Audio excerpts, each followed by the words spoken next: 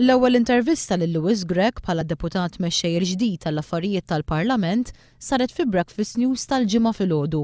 Intervista ta' nofs siegħa li matulha ġew trattati temi differenti, mill-ħatra tiegħu bħala Deputat Mexxej, għar-reazzjoni tal-familja tiegħu u kif se jkun jagħti qatta l-bqija tal-festi.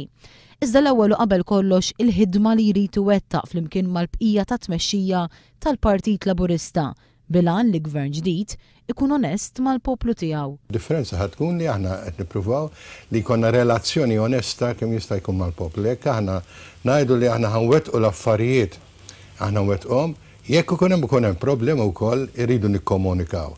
Jitkellem dwar l-ewwel pass li se jkun qed jagħmel f'din il-kariga l-ġdida, L-ewwel pass fil-viżjoni li se jkun qed jaqsam mal-Mexxej Laburista Joseph Muscat. L-ewwel ħaġa li ħa jkollna hija l-manifest elettorali, wieħed irid jarah sew, wieħed irid jibda jara li aħna ngħidu dak li nwegħdu veru ħa nwettquh u dik hija naħseb waħda mill-saħħa li ħa jkollna. U x'kienet ir-reazzjoni tiegħu għar-riżultat tal-Ħamis filgħaxija? Tant kien hemm fiduċja li wieħed ma jkunx jistennieha, wieħed ikun grat U b'ċertu umiltà wkoll taċċetta għax ma tkunx ma jkollok ma tkunx konxju li veru di għandek dik il-fiduċja kollha.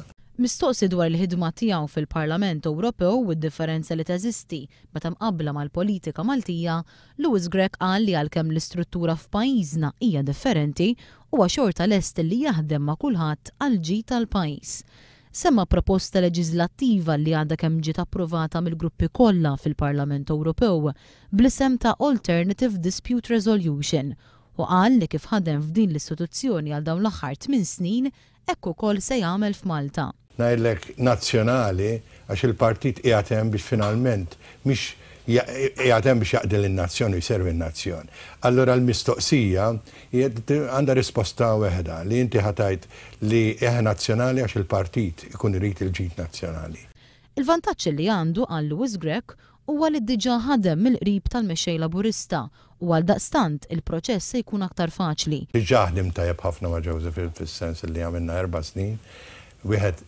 Beda jifhem lil xulxin tli ġa dak iż-żmien mxi huwa proċess li rrid nibdih issa li nibda nifhem kif jaħdem. Louis Grech kiseb l-appoġġ ta' 97.4 fil-mija tad-delegati Laburisti fil-ħatra tiegħu għall-kariga ta' Deputat Mexxej għall-Affarijiet tal-Parlament.